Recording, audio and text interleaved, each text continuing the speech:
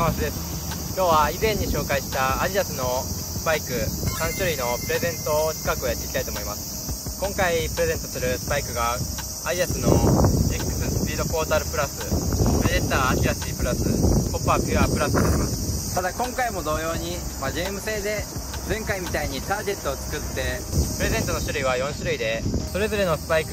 まあ、1つずつを1人にプレゼントするというのとこの3種類のスパイクを3名の方に、いっぺんにプレゼントする、まあ、4種類。の中から今回プレゼントするスパイクの数を決めていきたいと思います。プレゼントの応募方法は、ま以前と一緒でもし今日プレゼントするスパイクが、ま1種類のみになった場合は今日抽選で決まったスパイクが、ま欲しい方は、ま欲しいサイズを1サイズだけ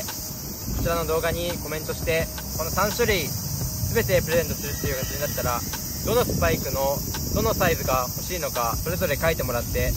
まあ、すでに買ってあるスパイクそれぞれの、まサイズと合った人の中から、ま抽選で選んでいきたいと思います。それでは今回プレゼントするスパイクを決めていきたいと思います。こういう感じでターゲットを4つつけて右からアディダス X スピードポータルプラス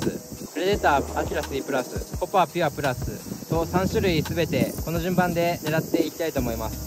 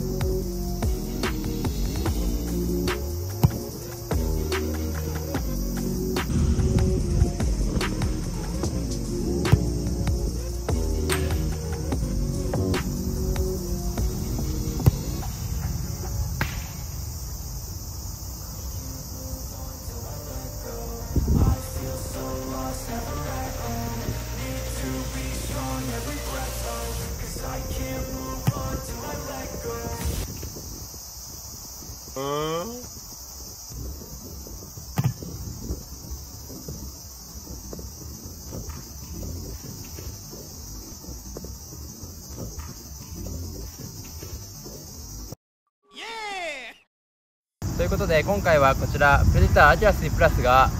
プレゼントになりました。応募方法は途中で言った通りなんですけども最初に言ったように前回のプレゼント企画で直接インスタの DM に〇〇くださいだったりコメントに、ま違うスパイクを選択してくださいだったり